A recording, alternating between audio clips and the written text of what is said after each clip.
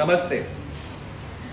आज हम बात करेंगे ये पीवीसी मोड की। आजकल ये बहुत, आप देखोगे, बहुत सारे रील्स में, इंस्टा पे और बहुत सारे साइट पे लोग बहुत ज़्यादा यूज़ कर रहे हैं।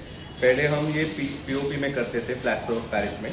उसमें दो चीज़ थी पहले तो उसमें टाइम लगता था सूखने के लिए और इतनी एक्यूरेसी नहीं आती थी।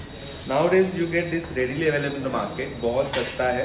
आप यूज़ कर सकते हो four hundred three fifty four hundred के बीच में ये आठ फुट की स्ट्रिप आती है। आप देखोगे तो यहाँ पे ये स्ट्रिप रखी हुई है। इस पे आप लगा देना वीडियो तो ये लंबे ऐसे पट्टे आते हैं जो आठ फुट के होते हैं। इसमें अलग अलग पैटर्न डिज़ाइन आती है। अलग अलग साइजेस आते हैं। बहुत इजी है वॉल पे इंस्टॉल करने के लिए। यहाँ पे हम इंस्टॉल कर रहे हैं। आप देख सकते हो यहाँ पे इंस्टॉल हो रहा है ये चीज़। तो ये नॉर्मली आप ग्लू से चिपका के बाद में इसको आप प्लेन से ठोक सकते हैं। उसके कारण ये फिक्स रहेगा। और फिर बाद में आप इसको कोई भी कलर का पेंट जो आपको मर्ज़ी है, जो कलर आप करना चाहते हो, आप कर सकते हो। हमने एक दीवार पे ये किया है। आप देख सकते हो, यहाँ पे हमने ऑलरेडी पैनलिंग किया है। आप काफ़ी सारी जगह पे आप देख रहे होंगे कि ये लगा हुआ है। तो ये सेम चीज़ है जो हमने यहाँ पे लगाई हुई है।